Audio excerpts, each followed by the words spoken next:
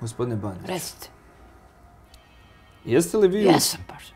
kolovozu 2013. zaposlili stanovitu Slavicu K na mjestu posebne savjetnice Zagrebačkog holdinga za financije? Jesam pa što. Pa gospođa ima pet razda osnovne škole. A šta ćemo više? Mislim, evo, pogledajte ministra financija, ali tako, on ima visoke škole, a proračun i dalje u banani. E, a ona kućanica i sve račune plaća svaki mjesec, sve na vrijeme. I kućon je, mužon je ovaj, ispeglan i čist, djeca su na broju i, i sita.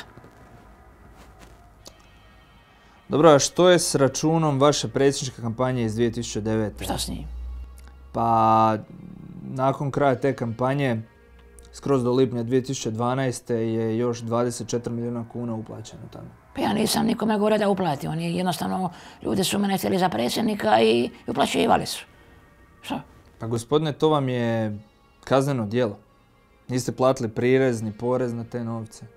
A onda mi bit će to Milanović uplatio, to vaš šef. Ovo mi je on smjestio, ko da ne zna. Dobro, ali eh, opet ste vi bili taj koji je podizao novce i trošio ih. Ja sam, a šta, šta biste vi? Da ga pojede inflacija?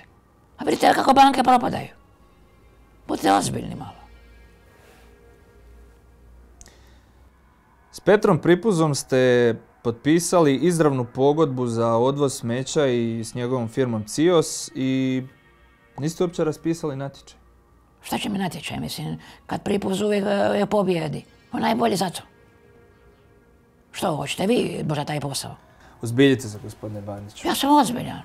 Ja sam ćemo fino kod mene pustite me psunskoka i ja vam kod kuće fino pečatiram to. I vi u svom kombi prenosite smeće. Pa vozimo mi smeće ovih dana, gospodine Bandiću. Pa nemojte tako, budite ozbiljni, nemojte tako za sebe govoriti. Vi ste ipak istražitelj, nemojte govoriti sa smeće.